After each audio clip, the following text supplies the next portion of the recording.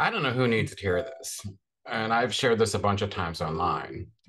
But seriously, if you're in a relationship where your partner and you don't align around things like health, home, family, service, finances, you're not in a marriage, you're in a hostage situation.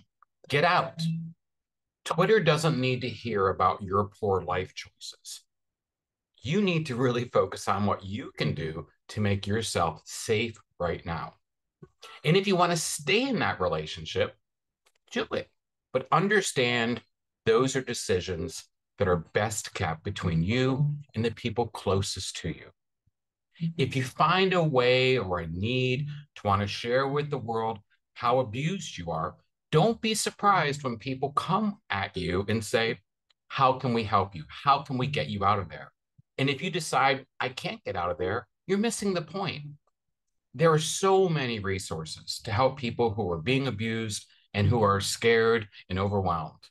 So let's just step back for a moment and focus on the really important things. And that's getting ourselves to safety, aligning to our values, and then maybe stop worrying about the number of likes and retweets you get, at least until you have to pay for Twitter.